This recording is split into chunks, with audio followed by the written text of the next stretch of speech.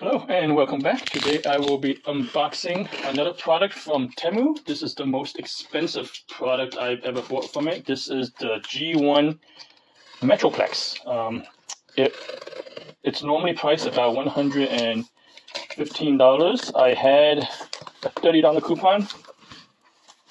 So it came out to $86 with free shipping.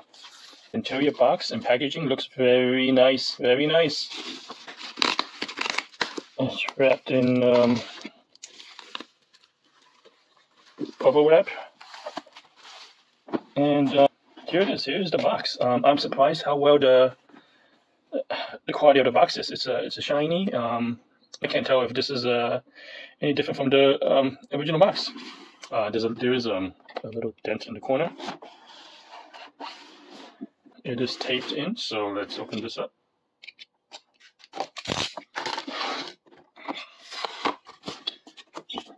Packed in styrofoam. And I would imagine that is probably how the original um, G1 box looked like. Um, I wouldn't know because I didn't have it as a kid, but um, yeah, it comes with a package of stickers and instructions. It's got a bag of accessories. There's quite a lot of accessories. We have the two main guns. Um, the quality is not bad. Um, the quality is not bad. This plastic doesn't feel uh, terrible.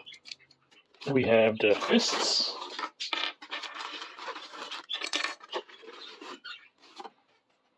The guns. And we have the bad boy himself. Um, he is really tight in here. He, he's a little smaller than I thought he would be. A little disappointing. I thought he'd be bigger. I really thought he'd be bigger. he's uh, really quite small. Um, I, would imagine that you know this was his original size uh, in the G1. Um, but I mean, oh come on, he, he's he's really small. Small boy. Uh, okay. So here is a Metroplex out of the box. Um, comes with uh, several large blasters and cannons. Um, there is a bag of goodies. And uh, yeah, there's a bunch of accessories here. Guns. This little, uh, I think this is a scamper. Um, this is this little bot, and um, all the different pieces. Here is the instruction sheet, a sticker sheet, and instructions. And uh, there's going to be a lot of stickers. We also have the red decoder piece. Here's the instructions. Uh, these are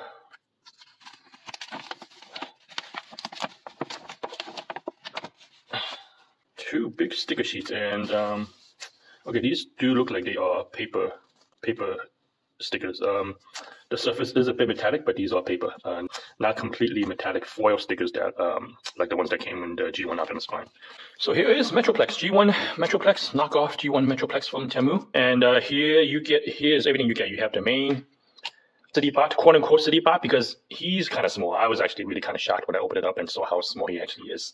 Um, you get six gun, uh, which is basically a parts former. They, they, you know they took some of his cannons and Metroplex's cannons and like you know various pieces and made a robot out of him. But um, actually finally putting him together, I I, I have I kind of like it. I, I kind of like six gun. um, the only articulation is basically you know these guns are gonna rotate, uh, but uh, otherwise, and I guess his um his legs back in, in the back, and um, you know his legs can kind of tilt a little bit, but um yeah, he, he's not really meant to like articulate. Uh, we have um his little car scamper. Now, Scamper, I mean, the plastic feels a little cheap. I mean, in general, um, I'm not terribly impressed with the quality of the plastic. Now, I'm not gonna not um, put that up to basically the chaos KO status. Um, so I really don't know. I didn't have, I didn't play with the original G1 Metroplex, so I don't know how good the quality is. But you know, um, the original toys they had various um, various levels of quality. For example, uh, Sound Blaster, the original G1 Sound Blaster, I have a reissue, and the plastic is just horrible on that one. So you know that almost feels like a knockoff, uh, even though it was it's original. It's original reissue. Um, so Scamper, this card, you know, the plastic really feels uh, very cheap, very thin. Um, I mean, it does its job. It transforms his arms. Uh, becomes uh, his guns that you know you can uh, you know you can take in. So he's got these blasters. Um, I, I actually do like this design, um, especially when you, you know you got these menacing guns on uh, on top here. Um, but the plastic just feels really cheap. Um, the other thing is, uh, so you know, uh, in terms of quality, right? Um, there, my Metroplex, you know, there are bits of um, plastic sprue and flash. Basically, these are extra or bits or you know, in the parts where they cut it off, it's not completely flush, or you know, they didn't do they didn't do a terribly good job, um, you know, moving all the uh, stubble and stuff. So there's lots of uh, stubble, um, and I got a problem on his forearm where um his forearm. Let me, let me see if I can show you it doesn't quite lock into place. I don't know what's going on here. Um, it doesn't quite lock into place. So it's a little, it's a little, it doesn't really, you know, hurt the playability or transformation, but it just doesn't, uh, it's, it's, a little loose. It just doesn't quite lock in flush. And again, you can see, you see, you see the, um, the molding stubble here. The problems I'm seeing in Metroplex looks like it's not because of the KO uh, remake. Because if you look at the box art, you can see, but here, see the same gaps in his forearm um, and uh, you know, and the gaps you know uh, on his elbow um, that I have. So it looks like uh, this was a problem with um, with the original mold. You can see you know, there's all kinds of little gaps and whatnot.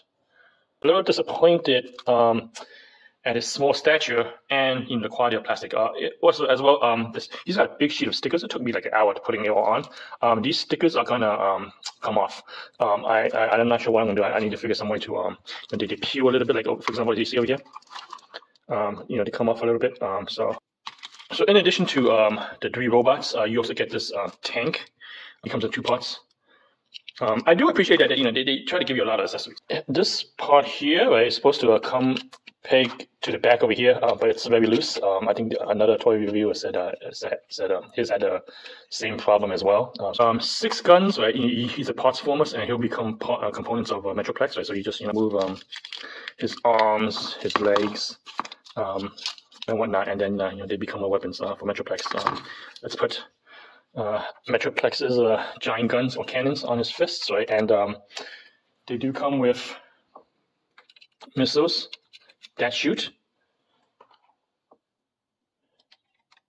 Uh, so, uh, yeah, see. Yep.